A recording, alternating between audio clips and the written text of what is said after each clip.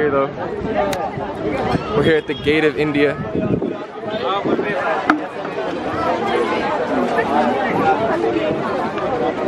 Hey, we're here. We're at the Gate of India. This guy just took us here. He agreed on a price. Now he's trying to overcharge us. Taxi guy, bro. Look at this guy. Hey, Please come. Alright. gotcha. Hey. Cheese. Right, the selfie madness begins. Selfies going crazy. Everybody wants a selfie. You guys already know. If they, I'd love if they all subscribe to my YouTube channel. If they did, I might have a million subscribers. All right. After, wild. This guy, Chris. Good thing Chris is tall. We can find him easy peasy. I'm easy to find. Blonde, red shirt. Chris is tall. He's got crazy hair, so easy, easy to find.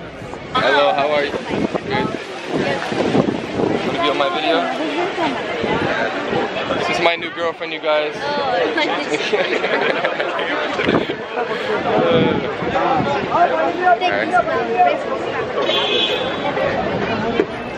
Hello, big balloon, big balloon. Hello, sir. Beautiful. Oh, it smells very nice. Oh no, it's okay. Yo, tie it for me, bro, so I get a nice video. Look at this.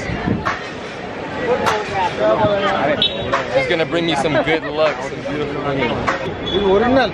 Thank you so much. He helped me some food. I don't need money. The lady didn't want money, she wanted food for just us to give her food, but I, I do not have any food, so all I have is money. I don't carry around food with me.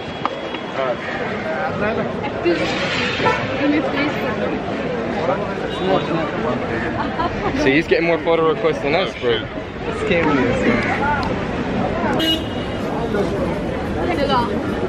Kevin, when you're done with that, wrap this for me. Okay.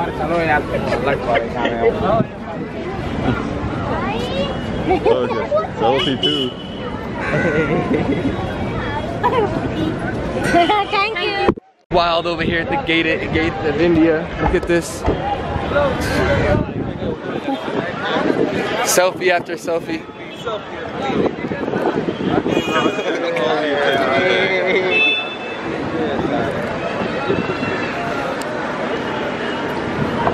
Chris thought he wouldn't be asked to take any pictures because he's not because he's not white, but uh, surprise, surprise, Kevin's getting most of the attention today.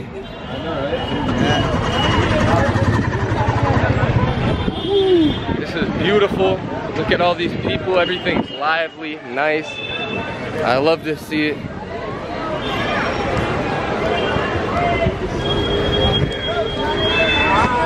That lady was saying they don't let poor people in the store. They don't let them buy stuff, which is sounds crazy to me. Look at this beautiful, beautiful tree right there. Wow. This is the line for selfies right here. Hey, this is the line for selfies. I'm on YouTube, you guys. Check me out on YouTube, Tarzan Travels. All right? You guys want one selfie?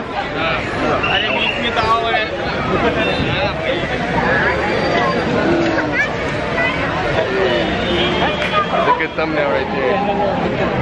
All right, I hope you guys can hear me because I'm holding the camera with no uh, no tripod. But here we got this nice Indian street food. Trying it for the first time. First, give it a nice try. Mm. It's nice, right? Hands are dirty. All right, so I have to do it.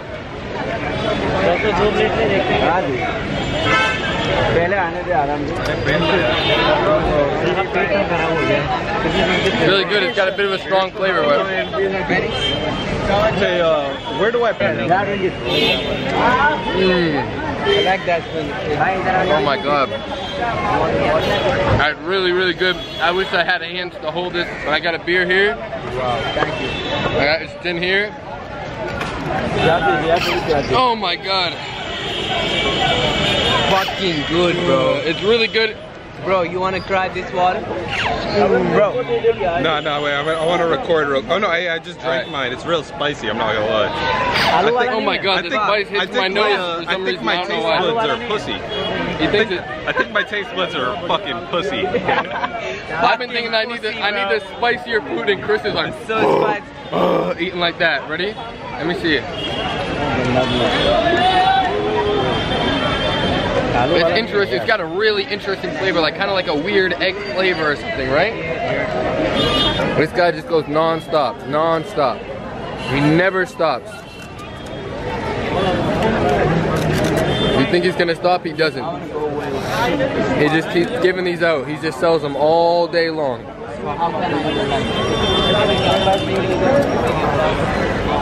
Fuck, bro. Yo! What do you think? Good? It's so good, but it's too spicy, bro. I Eat love some it. food. Look at this. Look at I don't think it's that spicy. It's delicious, but that's my little street food Look at review. recording the video. You already know what's Yo, up, look like and at this. subscribe. Here, look at this beautiful flute display here right by the gate of India. What's your name, bro?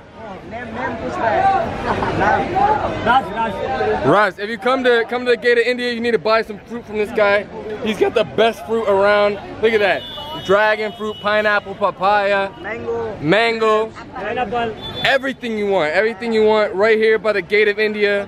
Amazing, bro. Listen, if you're here in India, one thing you need to learn is you cannot have any respect for the vehicles. Watch this. I mean, I'm not gonna walk directly in front of a moving vehicle, but like more or less, like I'm gonna just go like this. Like, let's just stop this right there. Bow. You need to have no respect for vehicles, otherwise you're just never gonna get across this. Or you'll get ran fuck over.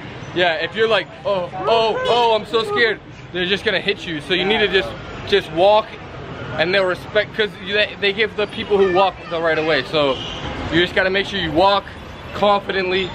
Try not to get hit, obviously. Don't walk right in front of a car.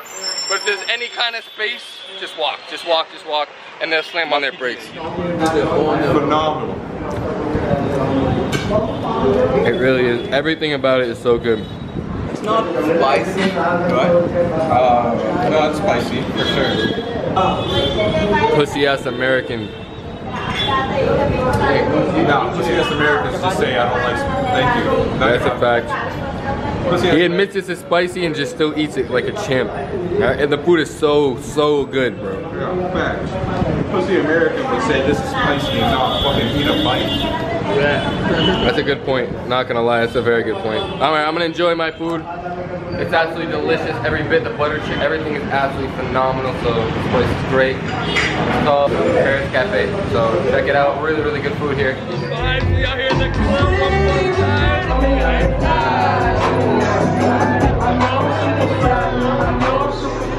As you can see, the club was great vibes. That's why I could not have expected what happened next. You never expect to go from Bruno Mars to bar fighting, but unfortunately, that's what happened this night. Nothing against India or the Indian people. You guys were amazing. This could have happened anywhere. Unfortunately, it happened on my friend's first day in India. So here's the story, right? So, after this clip, maybe about 10 minutes later, we were all still dancing, having a good time. I ended up meeting a girl and going to go dance with her, right? So as I was talking to this girl, all was going well. I get a tap on the shoulder from my friend Chris about 10 minutes after that. And I know my friend Chris is not a troublemaker, so I was so surprised. He taps me on my shoulder. He was like, dude, these guys are trying to fight me, right? I see a group, maybe like four guys coming at us, especially this one guy in the front. Somebody's trying to hold him back, and he just throws the guy off and starts coming right at me. So I knew this guy was just about to hit me, so I just did what I had to do. I leaned back and I hit him with a left jab and then an overhand right, and he covered up and started going backwards. And I just went into survival mode. I seen the whole club open up, and I just remember hitting this guy and hitting this guy, and until eventually he disappeared into the crowd. And then I just looked back, and my friend Chris was covered in blood. Apparently, when I started fighting the first guy, one of his friends grabbed a bottle and smashed Chris over the head from the side. So Chris went down, and the guy still tried to come at him. He kicked the guy in the knee, he jumped up, he hit the guy two times, the guy went down and he scattered into the crowd as well. The reason this fight started was crazy and there were literally other witnesses to confirm this. Chris literally just made a heart symbol at a girl sitting alone and just like like waved her over like hey you want to come dance never touching her or anything and these four guys just started coming over to him. He said, "Hey, chill, chill. Like no need, no reason to fight. Calm down." And they just still kept coming. Even though it was definitely a night out gone wrong, we definitely were not mad at India, and it did not ruin my friend Chris's first day. We actually felt a real sense of camaraderie fighting together. Is the first time we've ever been in a bar fight, and the first time we ever been in a fight together. So after it was all said and done, we weren't even mad. Not even at the guys. We felt like we got a win because they only hit Chris with the bottle. They didn't get any other hits off, and he ended up getting his hits back. So we felt like a win. Wasn't a terrible night, but definitely a night out gone wrong. I hope you enjoyed the video. Like and subscribe for more content and crazy stories like this.